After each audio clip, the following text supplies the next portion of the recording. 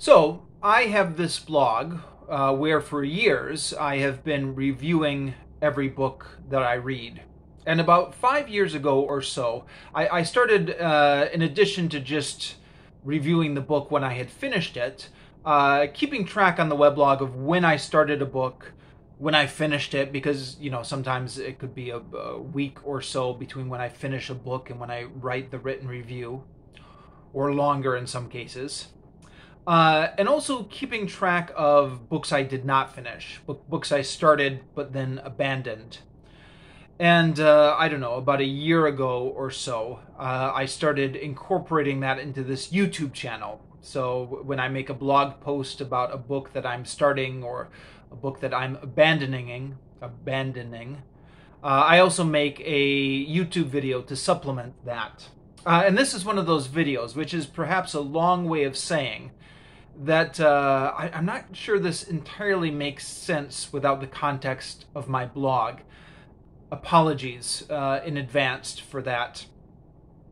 But on, on the weblog for the past three years, I have listed Aesop's Fables uh, under my currently reading list, and I've decided that it's time to take Aesop's Fables down from my books that I claim to be currently reading.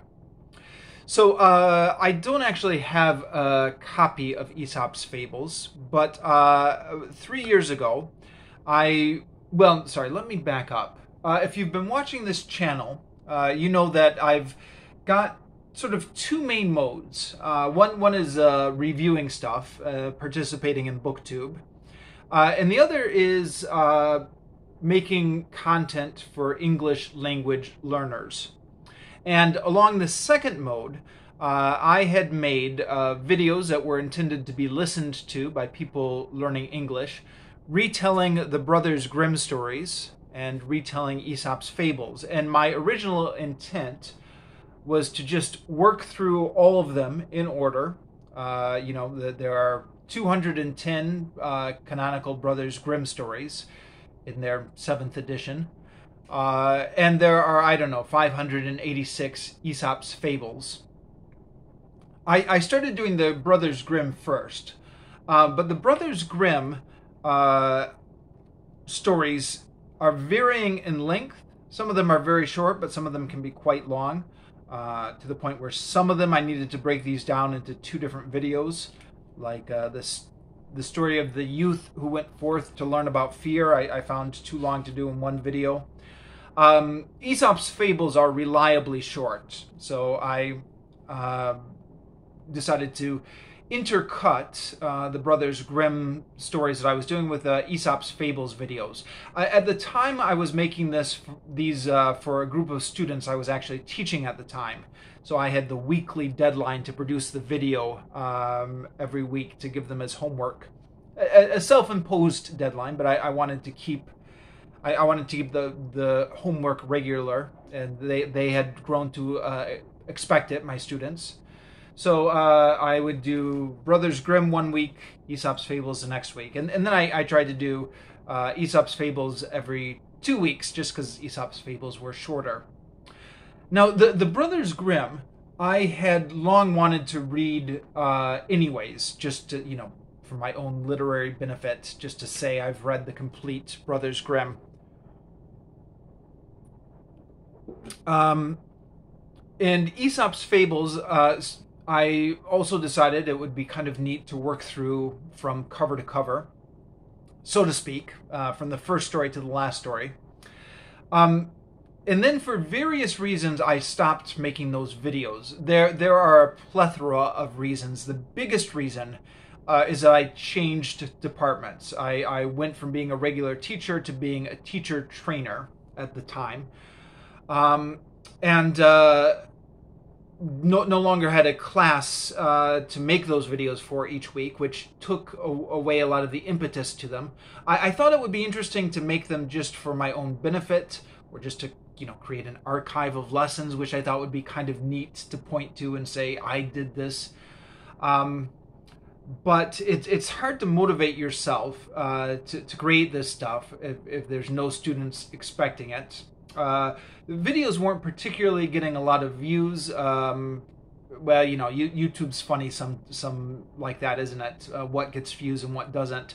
But in in the case of both the Brothers Grimm and Aesop's Fables, uh, I was not the first person to have this idea. There are tons of tons of audio recording of all of Aesop's Fables online on YouTube already. Uh, some aimed at English language learners, some just uh, aimed at the general listener. Uh, same same with um, sorry, what did I say? Uh, for, for both Aesop's Fables and the Brothers Grimm. So it, it was not like I was fulfilling a niche that needed to be filled. And also around that time, uh, around the time I was switching departments, anyways, that announcement that YouTube was cracking down on channels that did children's content came in.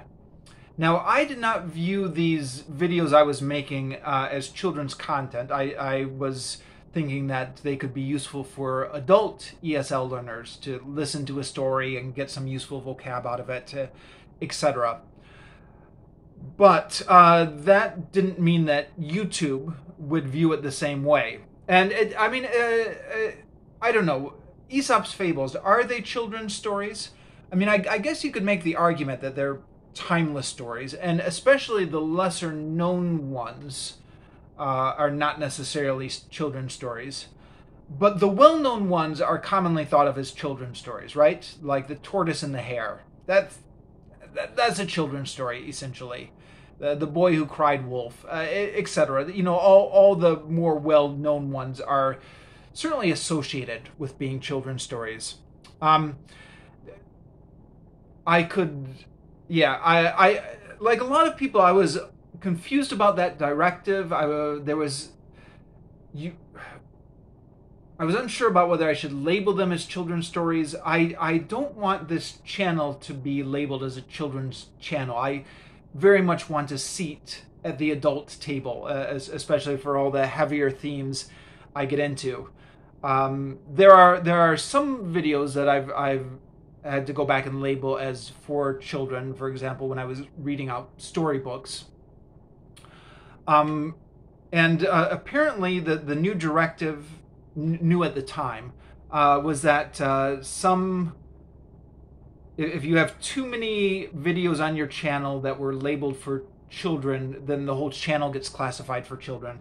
I don't know exactly what the magic number was or what the magic ratio was, but uh, it, it was something I was a little bit nervous about, which also took away some of the motivation for creating those videos.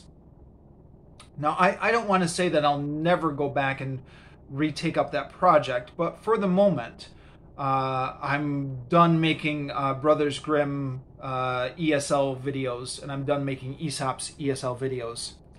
Now, the Brothers Grimm, I wanted to read cover to cover anyways, so I. Uh, the, the book sat idle on my shelf for a couple of years, but I picked it up the past couple months I've read it cover to cover and reviewed it, and in fact, that was the previous video I posted.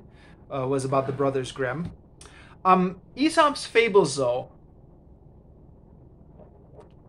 Aesop's Fables, I'm beginning to think um, it was not smart of me to classify that as a book to be read. Um, now, what, what I was going off when I was making these videos what is what is uh, I got from Wikipedia, which is the Perry Index. Apparently, some scholar named Perry years ago uh, put numbers on each fable based on how old he judged them to be. So one was the oldest, and then it goes all the way down through like 580 something or something like that. Uh, and th- there are, of course, books of Aesop's fables. Uh, you know, I read them from the library when I was a child. I- am sure you did as well. But but the idea of being a completist on this and doing the complete Aesop's fables, well, um, yeah, it, it didn't really seem like there was much of a point. I did actually when I was making the first video. Uh, I tried to introduce to my students who Aesop was and did a brief biography of Aesop, in which I researched it, you know, on Wikipedia and a few other sites, and and I learned something which I didn't know before, is is that Aesop very likely never existed. He, he's a mythological figure, which is one of those things that you know once you hear it, you're like, of course, Oh, of, of, of course he was. Um, but uh, up up until that moment, I, I had gone my whole life uh, without realizing that he was uh, not a historical figure. I when I, when I was a kid, I remember seeing a Disney cartoon about Aesop's fables. It was it was for the Wonderful World of Disney. Uh, I think it was one of their older episodes, but uh, they used to rerun their old episodes on the Disney Channel uh, in the 80s when I was growing up. Uh, and um, they, they they had a little one one of the episodes was a informational thing about Aesop, uh, which I think was a, a, frame story into which they inserted cartoons uh, that they had made about his various fables. But they, they told the story of Aesop as if he was a real person, and they had uh, the um, authoritative narrator voice uh, narrating his life with, with these little stop motion cartoons. Uh, and I I had just never thought to question it ever since then. I, I just always thought he was a real person. But uh, you, you look him up on Wikipedia, and he is almost certainly not a real person. And even if he was, uh, most of the stories that we call Aesop's fables, uh, he couldn't possibly have written because they come from all different time periods. So it's it's just it's it's it's like Mother Goose. Uh, it's it's a convenient name to ascribe all these fables to. Now the the brothers Grimm's, of course, were real people, uh, and uh, for all its faults, this book there is at least uh, authorial intent behind it, as somewhat of a, a, unity of theme or purpose, which makes it possible to talk about this as a work of literature. Um, but Aesop's Fables, just being a name for all the little fables from antiquity, um, yeah, it, it, doesn't really make sense to talk about that as a book, even though I had intents to go through it in order from Perry Index number one to Perry Index number 500 and something. Uh, that plus, if, if you look at those uh, original stories as they're in the public domain or whatever on Wikipedia, the the original stories don't really have a lot of literary value. They're like one paragraph long, uh, and they're, they're just only a few sentences. Uh, what we think of often when we think of these stories, for example, the tortoise and the hare, or any of them really, uh, is is we're we're thinking of the retelling of these stories, where different authors over time have retold selected Aesop's fables and added in more detail and added in more literary flourish. Um, I I'm I don't think anyone has ever done the complete Aesop's fables, at least not as as a literature. Um, you know, you, you, can probably find it in the archive of a university somewhere. Um, but you know, in, in, terms of rewriting them as literature, I'm not sure that exists out there. But the point being, uh, you know, I've I've got a bit of a completist personality. I, I like to read the complete unabridged version. So you know, this is the complete unabridged Brothers Grimm, all 210 stories. Um, but the, there's there's no point in doing that with Aesop's fables um, because even though each each collection of Aesop's fables that you pick up is uh, just a selection, uh, the author has added their own spin to those stories. So. Um, what, what I'm trying to say is, I've, I've realized over time that there's no value in going through the stories in strict order and counting them as Aesop's fables read because there's very little literary value in these fables. Uh, it's much better just to pick up a collection, and and I may do that in the future uh, if if I ever run across it in a bookstore or something. Pick up a, a collection of fables and talk about that. But a, as a project to work my way through all the fables, uh, I think I'm going to abandon that. I, I, of course, reserve my right to change my mind in the future, maybe even change my mind about making those ESL videos, uh, or change my mind about stopping making those ESL videos. But for the moment, I am taking Aesop's Fables down off my list of currently reading books. No, I no longer consider myself to be currently reading that. Um, and um, yeah, so uh, Aesop's Fables as uh, a reading project from Fable 1 to Fable Last. Uh, I, I'm putting the brakes on that one.